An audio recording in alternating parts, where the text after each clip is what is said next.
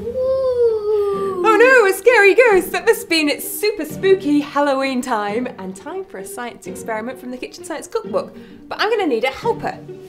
Me. Hi, Aman, how are you? Good. Would you like to do a science experiment today? Yes. Perfect. You will need for this recipe a tissue, a pen, some scissors, sticky tape, and a balloon. Okay, first I'm going to need you to draw a ghost. So here's a pen. We're going to draw a ghost there. Perfect. That is a very spooky ghost. Now I'm going to use the scissors because they're sharp and going to cut this shape out. While I'm doing that, can you blow this balloon up for me, please?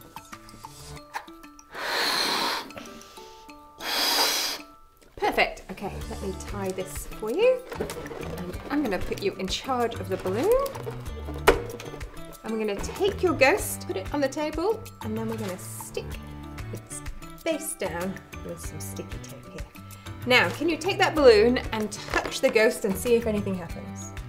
Nothing. Nothing happens. So we're going to need a super secret science ingredient. Do you know what that is? My hair. Your hair. Okay, rub the balloon on your hair as fast as you can.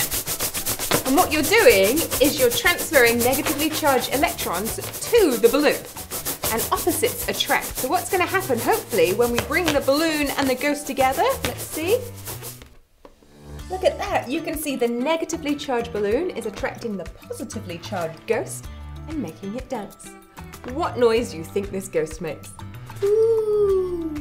Woo! Indeed! There you go, Halloween science that you can do at home with your kids thanks to the Kitchen Science Cookbook. The Kitchen Science Cookbook 50 science recipes you can do at home with ingredients you already have in the cupboard.